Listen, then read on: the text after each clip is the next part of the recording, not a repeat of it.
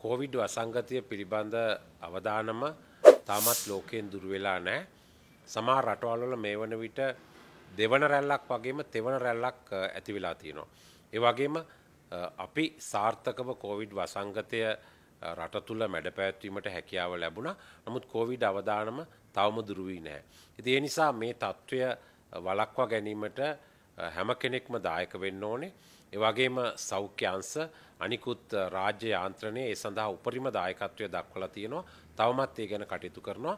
නමුත් රටේ ජනතාව හැටියට ඔබගෙනුත් අපි ඒ සහය තවදුරටත් බලාපොරොත්තු වෙනවා සම්පූර්ණයෙන්ම මේ කෝවිඩ් වසංගතය ලෝකයෙන් දුරුවනතුරු එවගේම මේ අවධානම පහවනතුරු මෙය පාලනය කර ගැනීමට මෙය ඉවත් කිරීමට ඔබේ සහය අවශ්‍ය වෙනවා.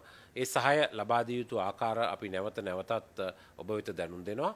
විශේෂෙන්ම අපි මාස තුනකට ආසන්න කාලයක් කරගෙනාපු එවගේම අපි විසින් පිළිපදින ලද සෞඛ්‍ය සිරිත් ඒ ආකාරයටම ක්‍රියාත්මක කළ යුතුයි.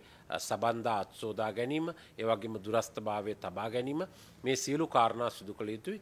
විශේෂෙන්ම ඒ අතර මුහුණු ආවරණ නැත්තම් මුවාවරණ මුකාවරණ පැළඳීම පිළිබඳව හැම දෙනෙක්ම අවධානයෙන් සිටිය යුතුයි. මේ සෞඛ්‍ය පුරුදු නිරන්තරයෙන්ම අනුගමනය කරන ලෙසට අපි ඔබ හැම දෙනාම දැනුවත් කරනවා ඒවගේම ඒ සඳහා ධෛර්යමත් කරනවා විශේෂයෙන්ම ඔබ මෙතෙක් පවත්වාගෙන එන ලද මාස තුනක කාලයක් සාර්ථකව ඔබ සහයෝගය ලබා දෙමින් පවත්වාගෙනෙන ලද සබන්ධ අත්සෝදා ගැනීම ඒවගේම මුවාවරණ පැළඳීම ඒවගේම දුරස්ථභාවය තබා ගැනීම යන විශේෂ කරුණු ගැන තවදුරටත් අවධානය යොමු කරන්න.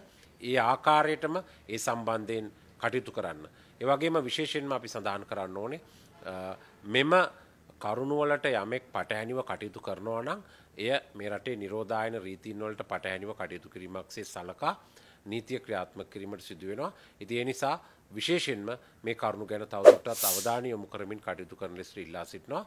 එසේ නොකළහොත් පොලිසියට නීතිය ක්‍රියාත්මක කිරීමට සිදුවෙනවා. විශේෂයෙන්ම නිරෝධායන රීතින් යටතේ වගේම ශ්‍රී ලංකාවේ අපරාධ නීතින් යටතේ කටයුතු කිරීමට සිදුවෙනවා. එනිසා අපි තවදුරටත් හැම දෙනාගෙන්ම ආයාචනය කරනවා එම සෞඛ්‍ය පුරුදු ඒ ආකාරයටම දිගටම පවත්වාගෙන යන්න නිරෝධායන රීතීන් වලට ගරු කරන්න විශේෂයෙන්ම සෞඛ්‍ය අමාත්‍යාංශයේ වෙබ් අඩවියේ මේ නිරෝධායන රීතීන් ඒවගේම අපි මෙම රෝගය සම්පූර්ණයෙන්ම තුරන් කිරීමට ගටයුතු ක්‍රියාමාර්ග පිළිබඳව සඳහන් වෙලා තියෙනවා.